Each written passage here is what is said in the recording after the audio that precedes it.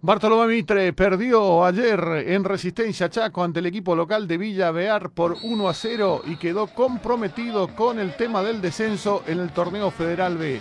A los 13 minutos rechaza mal Rodríguez, la pelota le queda a Romero que desborda por izquierda, saca el centro hacia el medio y Cortés entrando solo por el otro sector convierte el único tanto del partido en unos 30 minutos en donde Mitre no encontró el juego.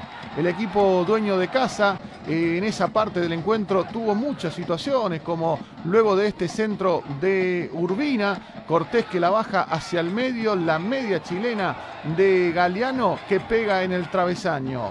A los 24 el tiro libre nuevamente de Urbina, la baja Miño de cabeza para que Romero fusile a Galeano que consigue despejar y después nuevamente Romero con el remate y la defensa de Mitre que despeja.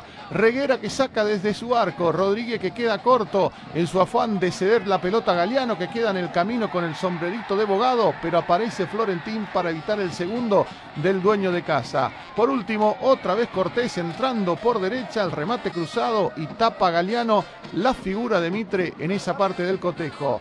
Ferreira con el centro y Festein que nos llega por poco en la única llegada del conjunto misionero en esos primeros 45 minutos.